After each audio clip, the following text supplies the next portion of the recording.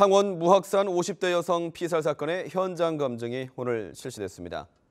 처음으로 피해자를 직접 본 유가족들은 울분을 터뜨렸습니다. 정유진 기자가 취재했습니다. 모자를 쓴 채 고개를 숙이고 승합차에서 내리는 남성.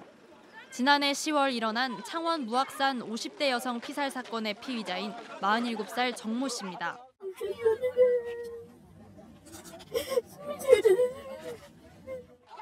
정 씨가 도착하자 당시 사건 현장은 순식간에 아수라장으로 변했습니다.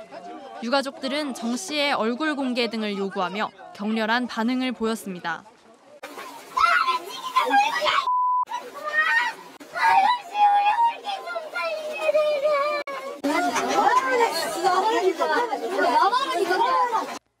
마을 주민들도 분노 속에 현장 검증 과정을 지켜봤습니다.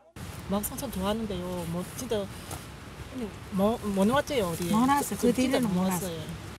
정 씨는 사건 당일 무악산 정상 부근에서 홀로 등산하던 피해자를 따라가 살해하는 당시 범행 과정을 담담하게 재현했습니다. 이곳이 정 씨가 범행을 저지른 곳입니다. 정 씨는 피해자를 이 가파른 풀숲으로 밀친 뒤 저항하는 피해자를 폭행해 숨지게 했습니다. 경찰은 현장 검증을 토대로 추가 수사를 한 후 이르면 다음 주 검찰에 송치할 예정입니다. KBS 뉴스 정유진입니다.